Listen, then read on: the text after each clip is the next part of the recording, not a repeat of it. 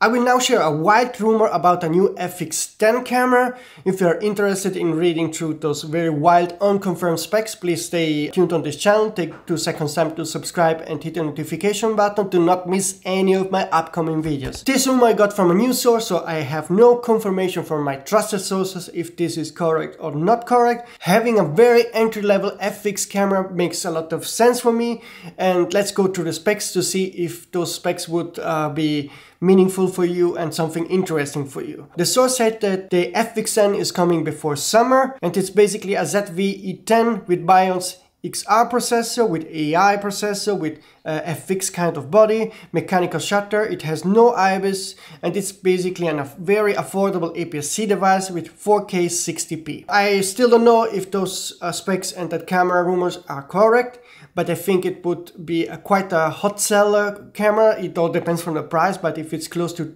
thousand dollars or a little bit above i think uh, filmmakers uh, video makers could be interested in buying such a model now let me know in the comment system if you think uh, Sony should really do this, if it makes sense, uh, and as soon as I have a confirmation if the rumor is correct or not, I will make a new video and let you know. This is it for today, I see you soon.